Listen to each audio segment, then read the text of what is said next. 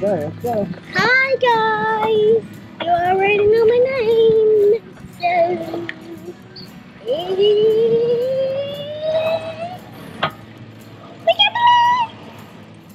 Hey everybody, it's Gil here with the Sailing Vessel Dream Chaser, and in last week's episode, I answered the question, hey, why aren't you guys sailing? Where's the boat? It's come up a bunch of times, so we went ahead and answered it. If you haven't seen that video, uh, I'll put a link to it right up in this corner. If you're watching on a mobile phone or a tablet, it'll pop up here. If not, I'll put a link down in the description below. For those that are just tuning in for the first time, by all means, welcome to our channel. Um, I would give you a little bit of history. So my wife and I, for the last eight years, have refit and lived aboard and cruised on two different sailboats, a 43-foot Gulf Star sloop and a 51-foot Formosa, which is a cutter-rigged ketch. Um, and just recently, we decided to go ahead and purchase a home and make that our full-time residence and still use the boat for trips, etc. So we went into some of those details. Um, you know, after eight years of um, you know living on the boat and three plus years, over 300 episodes of content every week about that, this by all means is certainly a change of pace. I'm sitting on the dock where we're going to actually park the boat as soon as we sail it over here. This week we do something pretty exciting. Um, I'm I'm thinking this is going to be pretty cool. I think you'll like it too. We went to a small little home and garden show and we saw a local artist that had painted these beautiful murals of manatees and dolphins and whatnot on the walls inside of the um, of this convention center. Um, we got to talking with this woman. Her name is Sandra Priest. She's out of this little Pine Island, west uh, west coast of Florida area, but she does beautiful work. And she had some of her paintings and photographs of her paintings and murals she's done there. Um, you know, if you've watched or followed us on any of our social channels, you know how much we love our Formosa. Um, there's something about that cutter rig ketch layout, that uh, Taiwanese turkey or leaky teaky as they call them, but she's big and bold and has beautiful curves, and I think she just does something deep down inside for both Deb and I. So we love the way she looks, and we showed this uh, artist a picture of them and asked if there was any way she could paint us a mural of this. Um, and not just any mural. We actually did it right on the front of the house. I'd say only in Florida, but the reality is I'd probably do this wherever I happen to live. But it seems to go perfectly with the motif and everything else of this entire sort of waterfront area where all the homes are on the water as well. So stay tuned. I think you guys will love that. Um, it's coming up. It's actually two full days of painting covered in two minutes just later in this video. So it's a neat little time lapse of seeing an artist do their work. When we first moved into the house, we knew we had to do quite a bit of trimming on some of the palm trees and the landscaping. And frankly, palm trees are something we didn't know anything about. So Deb found this local company, Florida Tree and Ground Maintenance, and they did a really good job. Um, we had them come out and cut down a big um, sort of rubber tree that was you know, touching the roof, and it was just sort of like a super highway for rats and rodents to get into the house from outside. So we certainly didn't want that. And I think a couple of weeks ago we might have shown a video of that. You saw them cutting down that tree.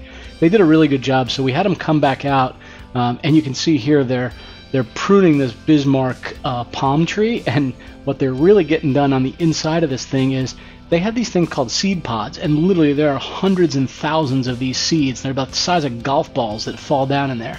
So we asked them to please prune out all of the seed pods that they could. Um, so they pulled all of those out of there and did a really good job doing that. After removing all of the seed pods, they then went to um, pruning the trees and working in the garden. You can see in the background they're moving the lift up here. It's amazing the equipment they bring out there. They had a front end loader with a platform lift. They had that cherry picker. The guys all had um, chainsaws and individual um, hedge trimmers and whatnot, rakes, the whole bit. So they had this truck and trailer, and then they had another truck and trailer um, that they also brought. There was a crew of like five or six of these guys. They uh, they made good and fast work of getting all this stuff done. What's nice about it is they pick up every piece of the scrap that they have, um, they pile it all in front of the house, and then the second truck also has a wood chipper and um, and grinder on it. So basically, all this stuff gets ground up and shot right into the back of their truck. Um, taking a look here at the front of the house, we have this thing here called an areca palm.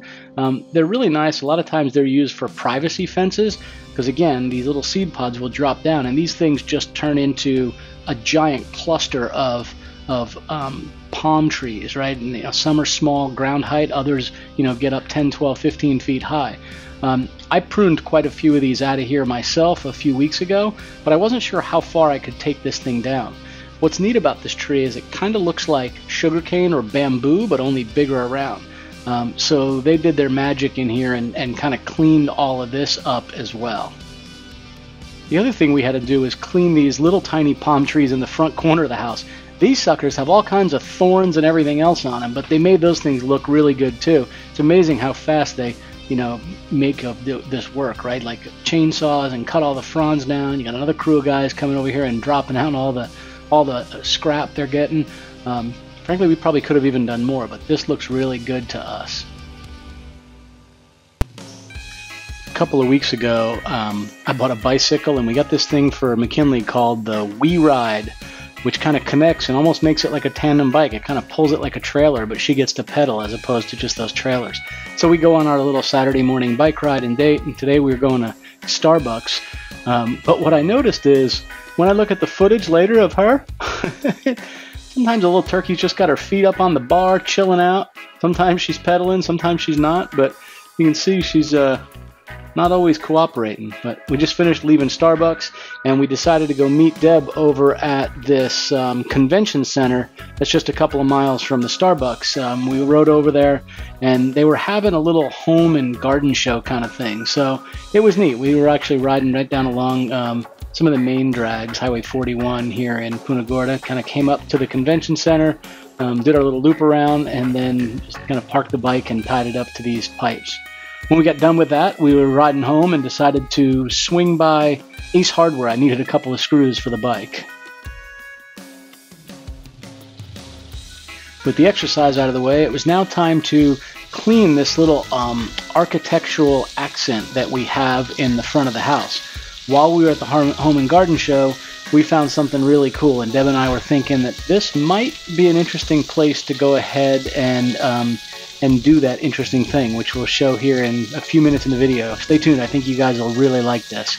Uh, basically, two days worth of work compressed down into two minutes here in a minute. So stay tuned and check that out.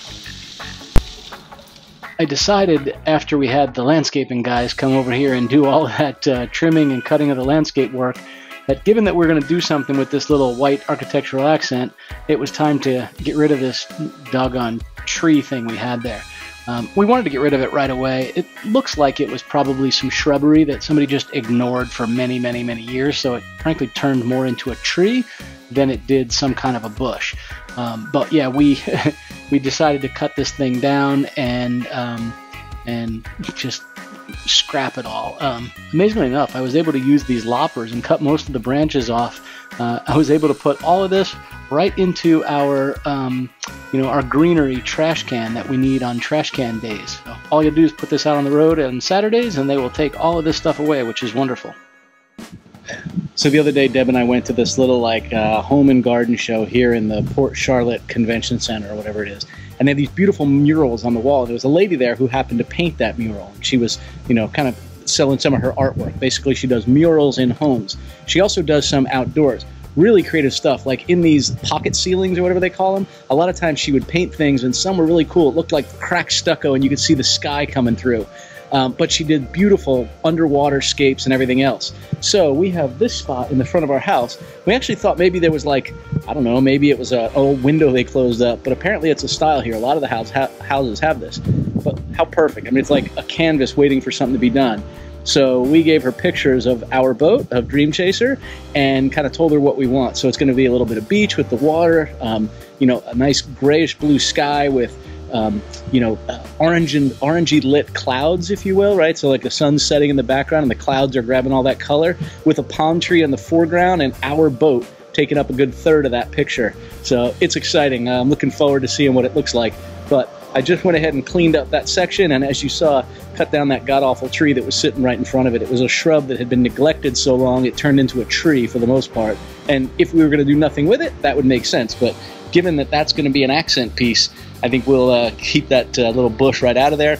And then you can see Deb's got some plants here. We'll plant those on either side of it, um, kind of see how it looks when it's done. Then we'll figure it all out.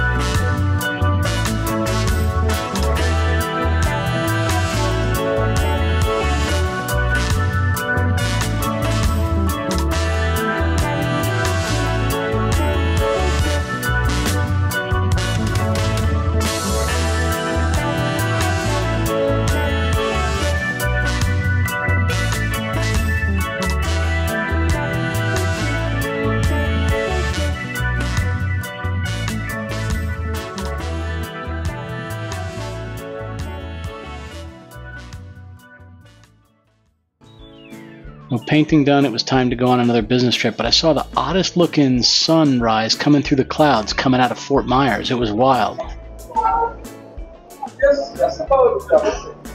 This is crazy in the Charlotte airport. It's like a damn bomb went off in here. Crazy. Well, I've arrived at my destination, uh, going to Minneapolis.